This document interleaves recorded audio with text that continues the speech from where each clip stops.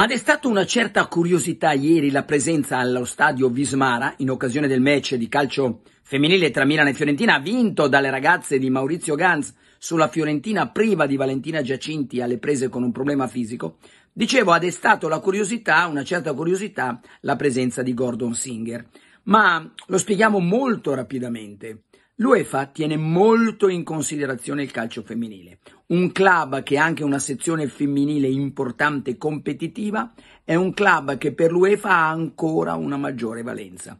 Ecco perché non è venuto solo, diciamo, da tifoso simpatizzante, ma proprio per anche una questione eh, che il club, una, un settore che il club tiene molto molto in considerazione. Poi se abbia altri impegni io questo non lo so, però ieri Gordon Singer era allo stadio Vismara. Veniamo alle notizie di oggi con Florenzi che ha un affaticamento al ginocchio, non potrà partecipare, era uno dei candidati a essere ancora titolare nel match contro la Turchia di domani sera, non ci sarà eh, Florenzi, speriamo che si tratti di un qualcosa di lieve, solo un affaticamento e qualche giorno di riposo possa permettere a Florenzi di essere disponibile, visto che poi il match è lunedì, essere disponibile per, il, per la partita appunto tra Milan e Bologna.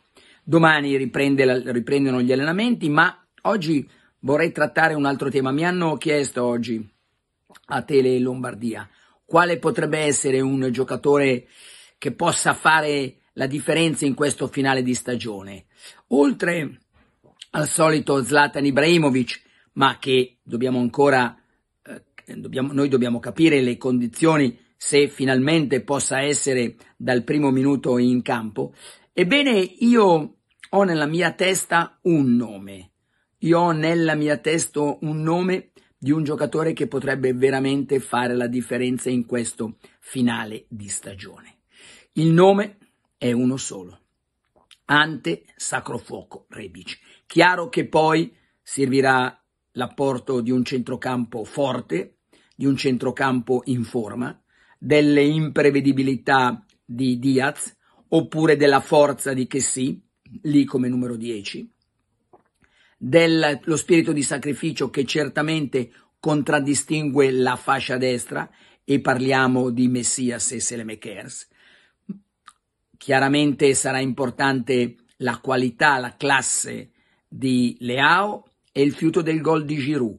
Ma se io devo pensare oggi a un giocatore, a un giocatore che possa essermi decisivo nelle partite finali, in queste partite del dentro e fuori, io metto il nome di un giocatore che nei momenti decisivi anche della scorsa stagione è emerso in tutta la sua classe, in tutta la sua determinazione, in tutto, il, in sua in tutto il suo fiuto del gol in area e anche in tutta la sua classe. E parlo appunto di Sacro Fuoco Ante Rebic. Perché sono positivo? Le partite precedenti mi avevano fatto capire che la gamba non era ancora calda che la gamba non era ancora tonda, ma la partita di Cagliari mi ha rimesso, mi ha mostrato un Ante Rebic in eccellenti condizioni psicofisiche.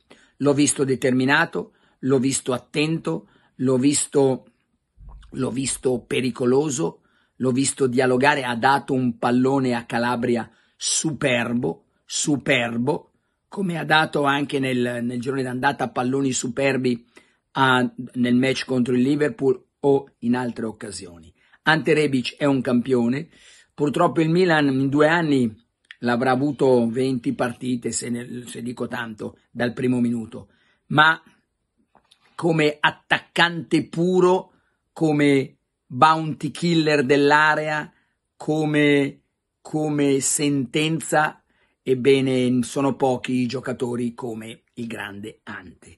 Quindi io addirittura penso che Rebic sarà titolare contro, contro il Bologna. Leao è stato impegnato nelle partite mm, e domani sarà impegnato nella partita, non so se dal primo minuto, contro il, la Macedonia, per decidere chi andrà o no ai mondiali, ahimè, e noi non c'entriamo nulla, pensate come sarebbe stata l'attesa oggi e invece l'attesa è di una partita Italia-Turchia, Turchia-Italia che sinceramente ha solo, è solo valore per il ranking e per i diritti televisivi ma senza altre valenze. Ebbene, ebbene visto che Giroud è stato in Francia, eh, Leao è stato in Portogallo, Rebic ha lavorato e bene tutta settimana a Milanello, io lo considero come uno dei candidati autorevoli alla, nella, nella formazione che affronterà il Bologna. Gli allenamenti riprenderanno domani, poi si attenderà tra mercoledì e giovedì il ritorno di tutti i nazionali e c'è grande curiosità anche per il ritorno di Zlatan Ibrahimovic.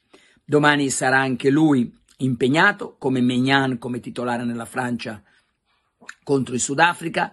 C'è sicuramente Zlatan Ibrahimovic nella partita delle partite contro la Polonia. Chissà se riuscirà a rubare qualche minuto per capire se Zlatan Ibrahimovic potrà essere in campo magari dal primo minuto in, nel match decisivo con il Bologna, contro un Bologna che avrà mille motivi per regalare al suo allenatore Mihailovic, non so se un grande risultato, ma certamente una grande, importante prestazione. Interessante l'indiscrezione questa mattina di Tutto Sport per quello che riguarda il futuro di Diaz.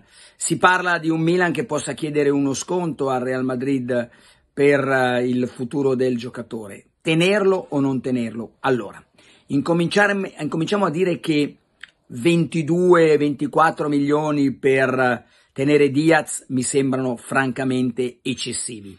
È un giocatore di qualità, è un giocatore di affidamento, ma 22-24 milioni secondo me sono tanti per questo giocatore importante utile, ma che si distingue soprattutto sempre giocatore generoso, attaccato alla maglia, grande cuore rosso-nero, ma col numero 10 abbiamo già visto dal primo minuto non sempre essere brillantissimo, è, anche se nel, nel girone d'andata, soprattutto all'inizio, prima dei suoi problemi fisici, era stato determinante. Quindi io credo che Diaz sia una figura ideale per entrare nel corso della partita in generale. Quindi per mettere un giocatore non titolare futuro e spendere 22 milioni di euro mi sembra sinceramente forse esagerato. Lo valuterà il Milan, dovesse il Milan riuscire a ottenere uno sconto importante, chiaro che allora le, la situazione potrebbe radicalmente cambiare perché giocatori ormai ben inseriti come Diaz, in grado di ribaltare completamente la partita, in grado di dribblare e sparigliare le carte e le difese avversarie, non è che ce ne siano molti in Europa. Poi soprattutto è un giocatore già testato dal Milan e quindi sappiamo tutto pregi e difetti per questo giocatore ancora molto giovane e che quindi potrà ancora maturare. Quindi è una trattativa, è una, diciamo, è una situazione da monitorare, da seguire.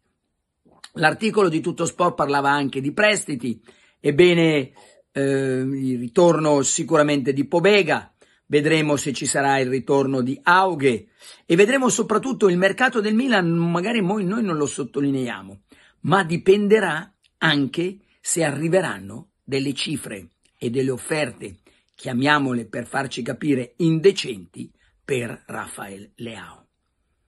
Lì dovrà il valutare il Milan. Il Milan non ci sono dubbi, secondo me, per qualsiasi giocatore dovesse avere un'offerta dai 50, 60, 70 milioni di euro, credo che non dica mai di no. E questo non mi comunque non mi fascerei la testa perché i dirigenti del Milan sanno sempre pescare dei giocatori, sono bravi a lavorare in anticipo, magari questo è stato uno, anzi senza magari è stato uno dei segreti per andare a prendere giocatori anche insospettabili. Eh, per quello che riguarda dunque il mercato del Milan, eh, Auge è un altro giocatore che bisogna aspettare la salvezza aritmetica dell'Eintracht Francoforte per capire se potrà o no ritornare nel Milan, ma tendenzialmente per il bene del ragazzo il Milan lo vorrà certamente poi cedere, mentre Pobega abbiamo già detto che rimarrà sicuramente. Per gli altri vedremo Lorenzo Colombo, può darsi che un altro anno potrebbe essere importante per lui in qualche altra squadra per affinare ulteriormente.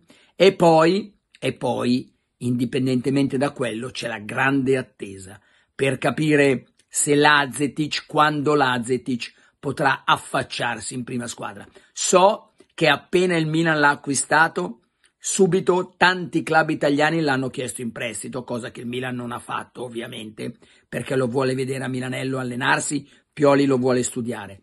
Ma sicuramente coi suoi 19 anni sarà uno dei giocatori più richiesti. Però il Milan ha bisogno di quattro punte. Abbiamo Ibra, abbiamo Giroud, abbiamo XY, favorito Origi, ma il Milan ha bisogno di una quarta punta però che dia una certa sicurezza che purtroppo Pellegri, che continua ad avere prodotti, eh, problemi fisici anche a Torino, non è riuscito a, diciamo, a risolvere e non è riuscito a dare quella, quella qualità, quella presenza, quella continuità, quella sicurezza al Milan perché il Milan non andasse a cercare altri giocatori. Quindi anche per quello che riguarda la punta varrà, bisognerà capire Lazetic se il Milan già ha intenzione di darlo in prestito oppure vuol vedere magari qualche amichevole prima di cederlo eventualmente ad agosto. Tutto è prematuro, ma il discorso Diaz è un discorso da seguire e mi interessano anche i vostri commenti se investireste questa cifra su Diaz, mentre per quello che riguarda il campo il mio titolo è abbastanza chiaro.